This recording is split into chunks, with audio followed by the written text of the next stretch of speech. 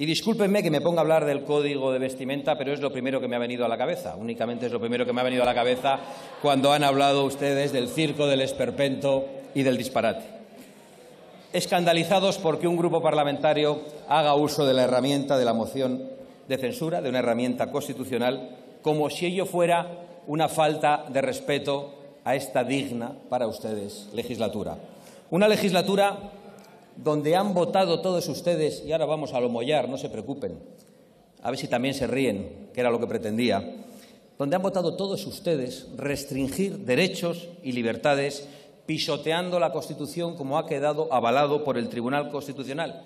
Y ninguno de ustedes ha tenido la dignidad de marcharse o de emitir al menos una tímida disculpa. Ante una sentencia del Tribunal Constitucional que habría supuesto la dimisión en bloque de cualquier gobierno democrático europeo o de cualquier gobierno del mundo occidental.